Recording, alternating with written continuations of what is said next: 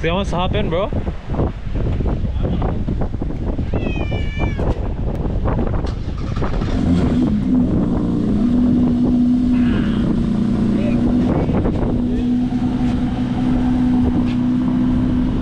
Yo, this car is actually kind of sick, bro. I mean, yeah, bro. you guys notice? How do you feel about this beach? I'm loving this, bro. The beach looks really nice. Yeah. The is beautiful. The sun's out. Yeah. It's a bit windy, but like it's okay. Yeah. It's very nice vibe.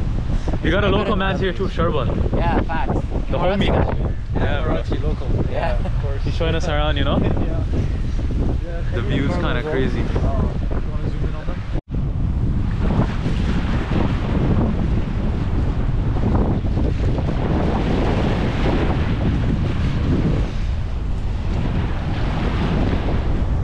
So I guess this is where they get the name Kite Beach from.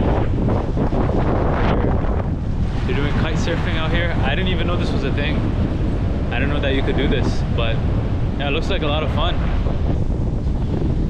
So you decided that we're gonna bike along the path and see what this beach has to offer.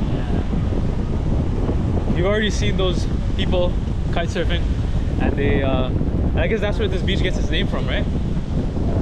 That's where Yes, sir, from. If you ever want to check out more kite surfing stuff, you should go to Egypt and Dahab.